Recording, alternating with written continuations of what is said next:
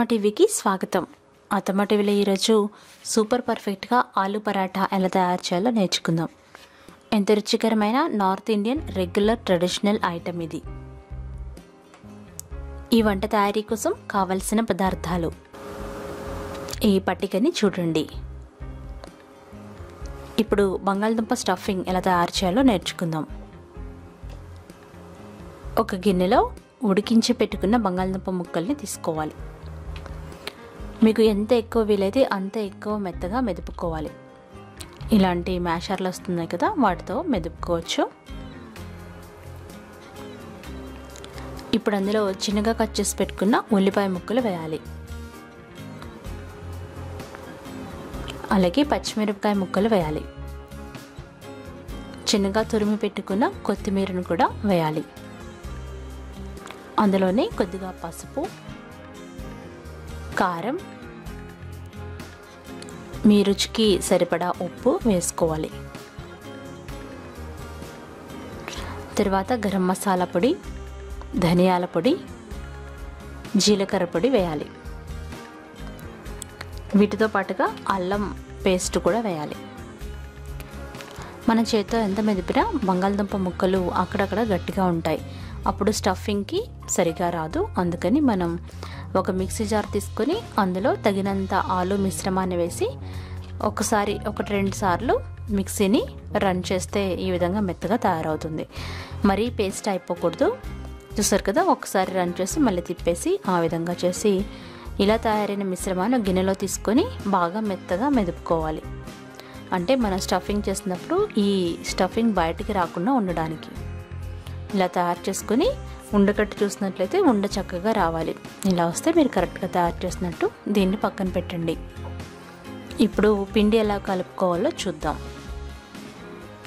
ఒక వెడల్పాటి గిన్నె తీసుకొని అందులో తగినంత గోధుమ పిండి వేసుకోండి.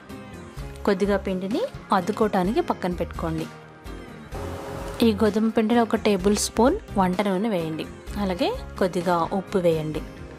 ముందుగా ఈ నూనెలో కలిసేలాగా ఈ పిండిని బాగా కలుపుకోవాలి. అంటే క్రంబుల్ అంటారు కదా. నూనెని ఈ పిండితో బాగా కలపాలి. తర్వాత కొద్ది కొద్దిగా నీళ్ళు పోసుకుంటూ మెత్తగా పిండిని కలుపుకోవాలి. ఒకేసారి నీళ్ళు ఎక్కువ వేయకూడదు. ఈ ఆలు పరాటాలకి పిండిని కాస్త గట్టిగా కలుపుకోవాలి. అందుకని నీటిని జాగ్రత్తగా చూసుకొని వేసుకోవాలి. కొంచెం కొంచెంగా వేస్తూ పిండిని కలుపుకోవాలి. ఈ విధంగా పిండి కలుపుతూ ఉంటే ఈ పిండి గిన్నెకి అంటుకోకూడదు. ఆ తర్వాత మీ వంటగది గట్టిని శుభ్రంగా కడగండి. ఆ తర్వాత కొద్దిగా పిండిని చల్లి దాని మీద మనం తయారు చేసి పెట్టుకున్న పిండి ముద్దని పెట్టాలి.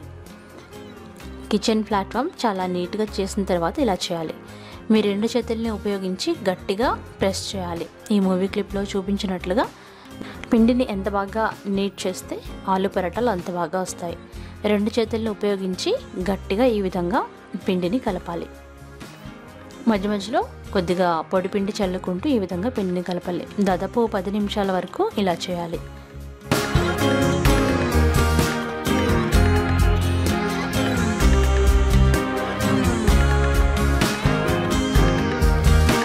బీట్ చేస్తూ మధ్య మధ్యలో ఈ విధంగా బీట్ చేస్తూ మళ్ళీ కలుపుతూ మళ్ళీ బీట్ చేస్తూ మళ్ళీ కలుపుతూ ఇలా ఒక పది నిమిషాల వరకు బాగా పిండిని కలపాలి. ఈ ఆలు పరటాలకి ఇదే ఇంపార్టెంట్ పిండి కలపడం అలాగే రోల్ చేయడం. ఇలా పిండి ముద్ద తయారవుతుంది చక్కగా. ఇలా తయారైన పిండి ముద్దని గిన్నెలో తీసుకోవాలి. అందులో ఒక తడి బట్టని కప్పి ఉంచుకోవాలి. అంటే మనం తయారు చేసుకోవడానికి కాస్త టైం పడుతుంది కాబట్టి ఈ లోపుగా పిండి ఆరిపోకుండా ఉండటానికి ఒక తడి బట్టని కప్పి మూత పెట్టి ఇరవై నిమిషాలు నానబెట్టాలి. ఇరవై నిమిషాలు అయిన తర్వాత చపాతి చేసుకోవడానికి పీట కర్ర అలాగే ఈ ఆలు పరటాలకి ఇనుప పెనం అయితే బాగుంటుంది. అది కాల్చుకోవటానికి నెయ్యి. ఇవన్నీ రెడీ పెట్టాలి. ఈ పెనం కాగేలోపుగా మనం ఇందాక నానబెట్టిన పిండిని తీసి చూద్దాము. చక్కగా నాని ఉంటుంది. అలాగే స్టఫింగ్ కూడా రెడీగా పెట్టుకోవాలి. కొంచెం పెద్ద సైజు పిండి ముద్దను తీసుకోవాలి. నారింజ అంత సైజ్ పిండి ముద్దను తీసుకొని ఈ విధంగా బాగా కదపాలి. పరాటా చేసినప్పుడు స్టఫింగ్ బయటికి రాకుండా ఉండటం కోసం ఎలా స్టఫ్ చేయాలో ఒక పద్ధతిని నేర్చుకుందాము.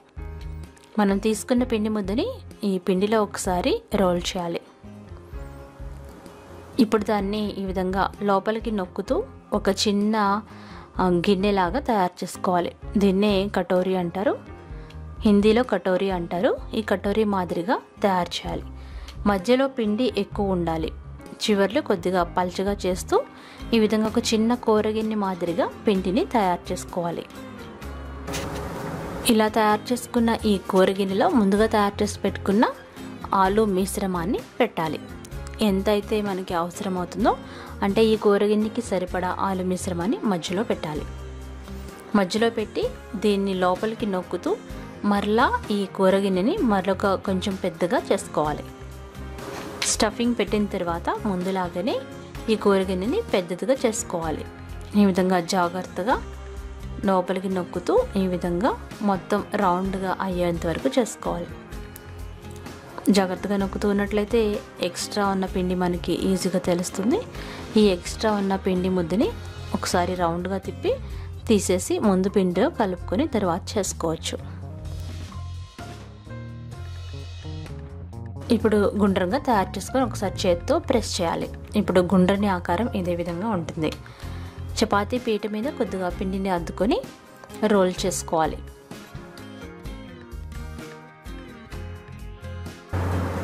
ఇప్పుడు చపాతీ రోల్ చేయడంలో కూడా ఒక చిన్న టిప్ ఉంది. పైకి కిందకి పైకి కిందకి ఈ పరాఠాని అటు ఇటు జరుపుకుంటూ గుండెని ఆకారాన్ని అదే విధంగా ఉంచేలాగా చూసుకుంటూ చేయాలి. మరీ పలుచగా చేయకూడదు మరీ మందంగా చేయకూడదు. ఇలా రోల్ చేసినట్లయితే లోపల ఉన్న ఆలు స్టఫింగ్ చక్కగా అన్ని వైపులా సర్దుకుంటుంది.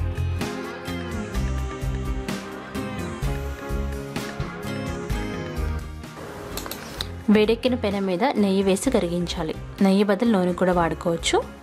కానీ నెయ్యి అయితేనే ఆలు పరాటా మరింత రుచిగా ఉంటాయి. జాగ్రత్తగా తయారు చేసి పెట్టుకున్న ఆలు పరాటాని పెట్టాలి. అంచులకి నెయ్యి రాయాలి. మీడియం ఫ్లేమ్లో కాల్చుకోవాలి. జాగ్రత్తగా రెండో వైపు తిప్పి మరలా మీడియం ఫ్లేమ్లోనే కాల్చుకోవాలి. ఒక అట్లకాడ తీసుకొని దాన్ని ఈ విధంగా ఒత్తుతూ కాల్చుకోవాలి. అప్పుడు చపాతీలు చక్కగా పొంగుతాయి. చూసారు కదా అంచుల వైపు ఎక్కువగా మనం అద్దుతూ కాల్చుకోవాలి.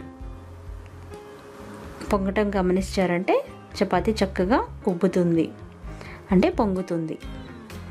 ఈ విధంగా అన్ని వైపులా పెట్టి మీడియం ఫ్లేమ్లో మొత్తం పొంగేంత వరకు కాల్చుకోవాలి. మీకు మరింత డార్క్గా కావాలనుకుంటే మరి ఒక రెండు నిమిషాలు కాల్చుకోవచ్చు. అంతే ఎంత రుచికరమైన నార్త్ ఇండియన్ స్పెషల్ రెసిపీ? ఆలు పరాటా రెడీ అయిపోయింది. ఇది బ్రేక్ఫాస్ట్ లాగా లంచ్ లాగా డిన్నర్ లాగా కూడా తినొచ్చు. పిల్లలకి లంచ్ బాక్స్కి ఇది చాలా బాగా సూట్ అవుతుంది.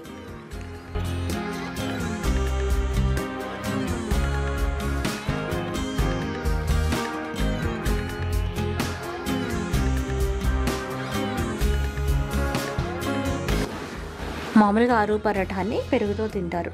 ఎక్స్ట్రా కూర అవసరం లేదు డైరెక్ట్గా ఇలా తినేయచ్చు. చూసారు కదా ఎంతో చక్కగా ఆలు పరాటాలు రెడీ అయిపోయినాయి. మధ్యలో స్టఫింగ్ చక్కగా అన్ని వైపులా స్ప్రెడ్ అవుతుంది. తెలియడం కోసం నేను పై పొరని తీసి చూపిస్తున్నాను. చూసారు కదా స్టఫింగ్ మొత్తం ఈవెన్గా స్ప్రెడ్ అవుతుంది.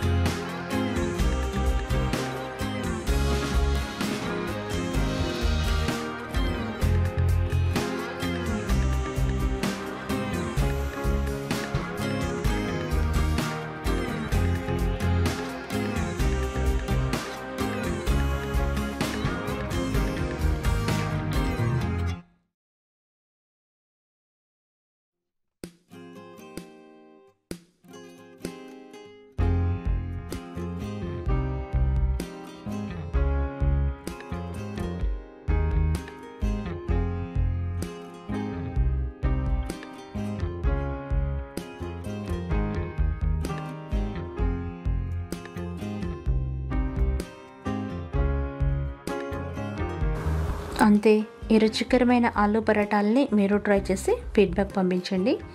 మరికొన్ని వంటల కోసం అత్తమ్మ టీవీని సబ్స్క్రైబ్ కాగలరు. అత్తమ్మ టీవీ మొబైల్ యాప్ని డౌన్లోడ్ చేసుకోండి. ధన్యవాదములు.